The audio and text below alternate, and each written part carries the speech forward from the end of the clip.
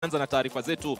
Mzozo umeigubika tume ya uchaguzi na mipaka humu nchini IEBC, huku migawanyiko ikijitokeza wazi baada ya makamishna watatu kujiuzulu mapema hii leo. Naibu mwenyekiti Consolata Maina na makamishna Paul Kurgata pamoja na Margaret Machanya wamesema hawana imani na uongozi wa Wafula Chebukati ambaye ni mwenyekiti wao, na kama Nicholas Wambua anavyoarifu, tume hiyo sasa inasalia na makamishna watatu kati ya saba.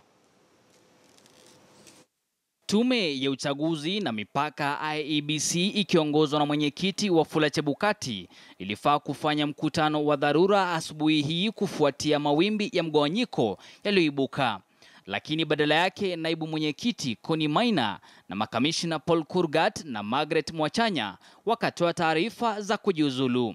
We regret to announce our resignation from the commission with immediately effect. Watatu hao wanatoa sababu kuu ya kujiuzulu kuwa mwenyekiti wa Wafula Chebukati.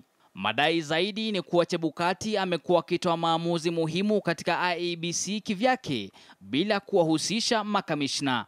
The commission chair has failed to be the steady and stable hand that steers the ship in difficult time. Kwa mujibu wa Chebukati, hakuna barua ya kujiuzulu kwa watatu hao waliyoipokea akisema alipata taarifa hizo katika vyombo vya habari. Matatizo katika tume hiyo yalionekana kuzama zaidi baada ya afisa mkuu mtendaji Ezra Chiloba kupewa likizo ya lazima. Kisa na maana, ununuzi wa bidhaa katika tume ya IEBC. Katika tume ya IEBC imesalia makamishina watatu: mwenyekiti Wafula Chebukati, makamishna Abdi Gulie na Boya Molu. Watatu waliojiuzulu wanadaiwa kuegemea upande wa Chiloba.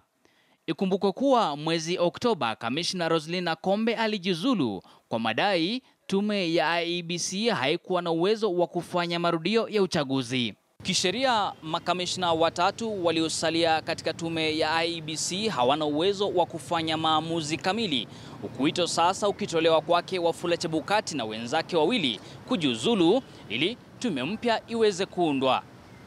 Nicholas Ombwa, KTN News, Nairobi.